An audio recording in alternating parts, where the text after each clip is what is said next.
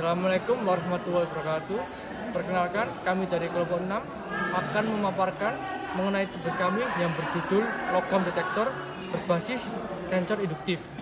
Pertama, perkenalkan nama saya Muhammad Asiri Ngaji, NRP 1051 911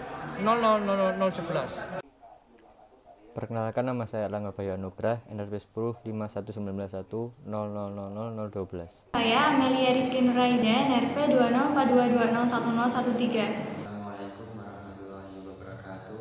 Perkenalkan nama saya Muhammad Ahmaduddin dengan nomor NRP 20422011014. Perkenalkan, nama saya Felina. Putri dengan NRP 20422011082.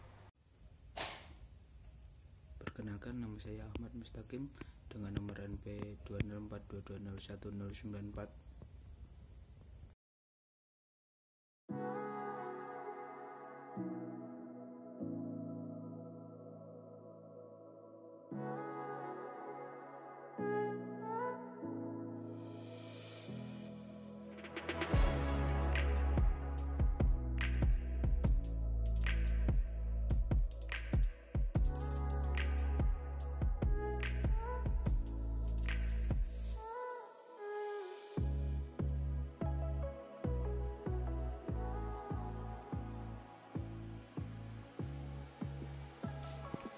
Oke, eh, pada kali ini saya akan sedikit menjelaskan eh, website, codingan website pada Visual Studio Code.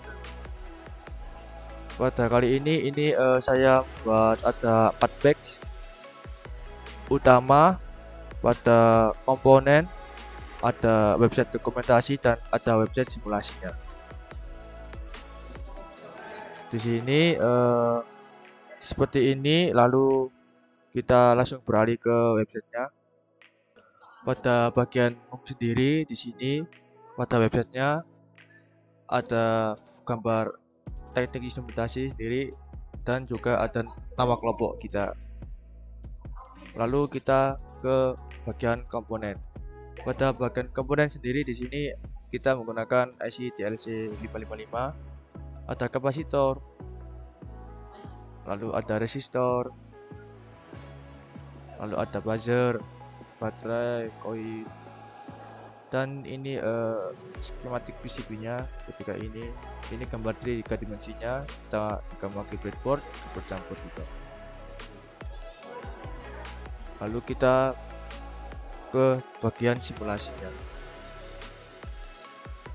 pada bagian simulasi sendiri di sini uh, di sini kita, kami memonitoring alatnya sendiri.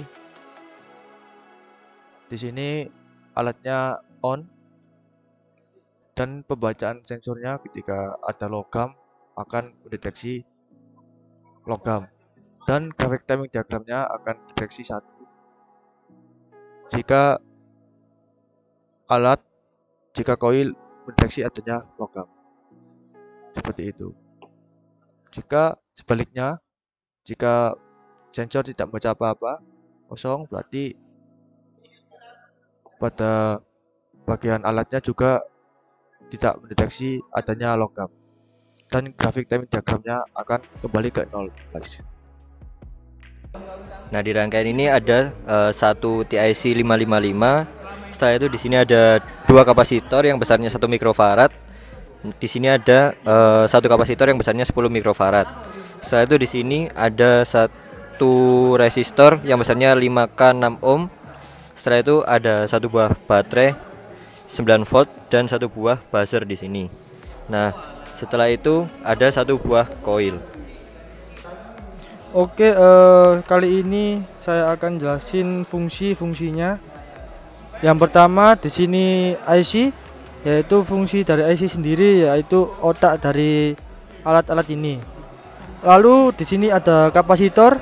Kapasitor sendiri berfungsi untuk menyimpan tegangan.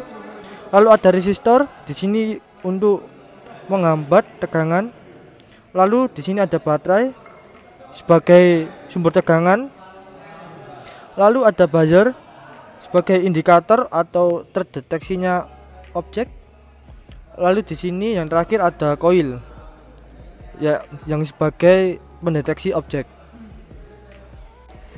Cara kerja dari alat ini yaitu jika logam dimasukkan pada koil, buzzer akan berbunyi karena koil mendeteksi adanya logam. Contohnya yaitu ketika besi obeng masuk pada koil,